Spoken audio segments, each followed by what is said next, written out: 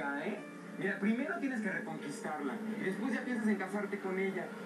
A ver, ¿para qué la riegas tanto? Ella te quiere un chorro.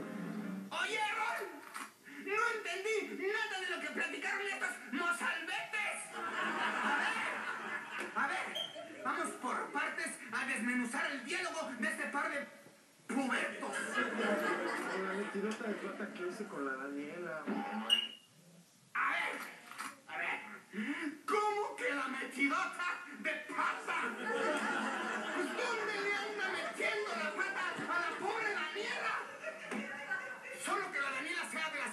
Mucho y, y se le haya metido a la boca para callarla. Pero si le anda metiendo la pata por otro lado, pues le recomiendo que use protección y se consiga un psicópata. Así podrá meter la pata donde quiera con seguridad. Pero no es todo. Veamos lo que sigue. Neto que si no estuviera tan chavo le pediría que se casara conmigo. A ver. A ver. Si Neto no estuviera tan chavo, se casaba con él. O sea que para que este chavo se case con Neto, va a tener que esperar que al menos le salga el bello sentimiento del amor.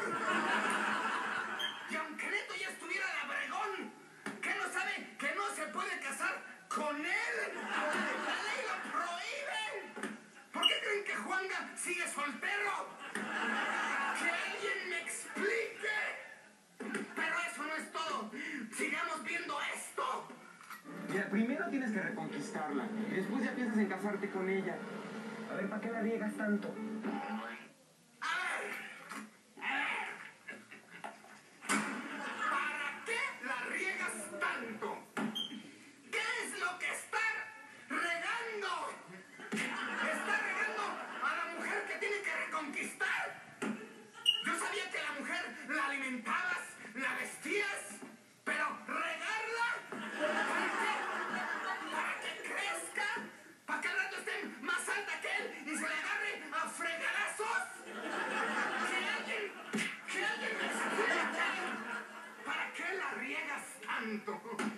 O, o, o al pensar en casarse le soltó el estómago.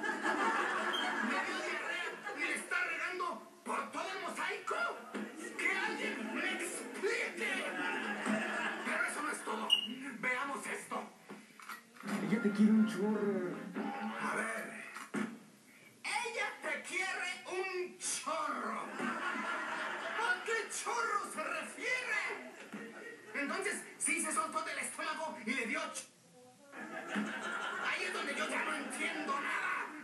Que alguien me explique. Él anda regando por todo el mosaico y ella le quiere un chorro. O sea que ella le desea una buena pues qué deseos tan cerdos. Yo ya me voy porque en esta novela solo hablan de obscenidades y desechos humanos.